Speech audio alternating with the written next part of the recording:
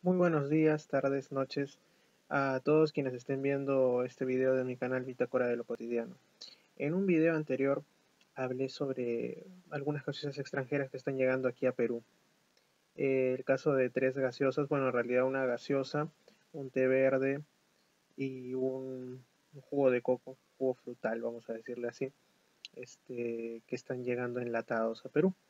Ahora me encuentro no, creo que no está disponible en la ciudad de Lima, pero nos viene directamente desde la cálida ciudad de Iquitos en la Amazonía peruana. Este, este está abierto. Este sí está tal como viene. La pinta es un queso enlatado de Holanda. Eh, queso fundido 40% MGES, que no sé qué quiere decir, que es importado por eh, una empresa llamada KL, ubicada en Iquitos. Y wow, este, este de aquí fue producido el 19 de noviembre del 2015 y tiene como duración hasta el 19 de mayo del 2017. Se ve que hay bastantes preservantes.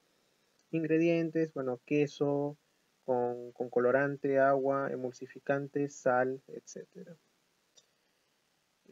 queso de Holanda, dice aquí, queso de Holanda primero un bonito diseño, eh, queso sin corteza al 40%, nos preguntamos el otro 60% qué es maliciosamente, aquí somos mal pensados. Eh, primera calidad supuestamente, hecho en Holanda, mm, sello de calidad y no sé qué otras cosas más dice. Eh, pero me parece que este no es un producto mm, que tenga mucha razón de ser en nuestro país, donde hay quesos muy ricos y frescos.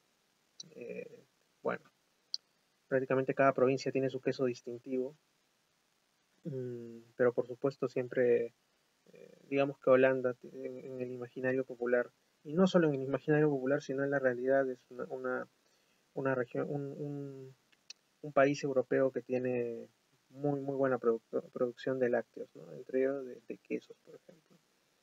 Eh, y pensaríamos que por venir en lata es un, un queso de untar, pero no. Por eso es que eh, tengo aquí la lata ya abierta que he venido devorando, sino que es ni más ni menos que el queso que nosotros eh, compramos pues en el mercadito, cosas así, exactamente igual, eh, solamente que reducido a un tamaño en el cual puede entrar pues aquí, ¿no?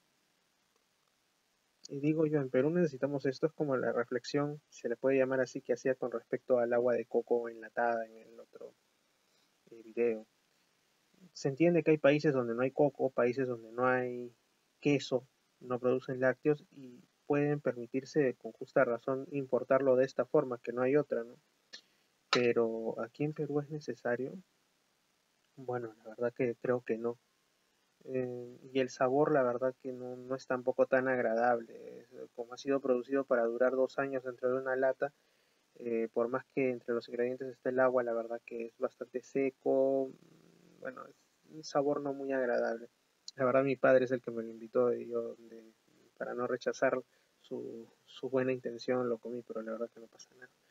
Y esta es una reflexión que hago no sé aquí eh, llegará el momento que, por ejemplo, yo hace, hace algún tiempo atrás vi un video de Canadá, si no me equivoco, era donde vendían la palta, que aquí te venden así nomás, este, la partían y la ponían este, tras un plástico y una cosa innecesaria, ¿no? Bueno, pero quizá en Canadá por el clima frío no producen paltas. Sin embargo, me sorprendió ver que en el caso de las mandarinas, en un supermercado conocido aquí en nuestra ciudad, eh, se daba el caso que la mandarina te la vendían pelada, así varias, dentro de un tarrito, ¿no? Y le ponían un precio evidentemente bastante sobrevalorado. Eh, es necesario todo esto, o sea, gente que veo que compra este duraznos en conserva, cuando ya hay, cuando aquí tenemos duraznos, este, y otro tipo de frutas así, ¿no? Y para colmo importadas, ¿no? Porque buena parte de, esto, de estas conservas de frutas nos vienen de Chile. ¿Qué necesidad hay si aquí en Perú producimos esas frutas?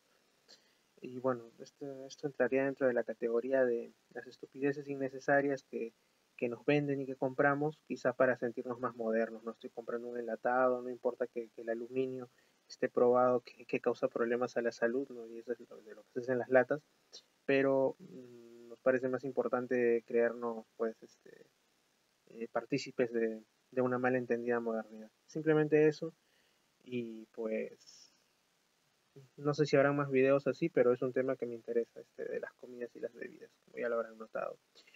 Bueno, que tengan buenas noches, días, tardes, a la hora que me estén viendo y cambio fuera, pues. Vean, vigilen, eh, piensen bien lo que comen y lo que beben.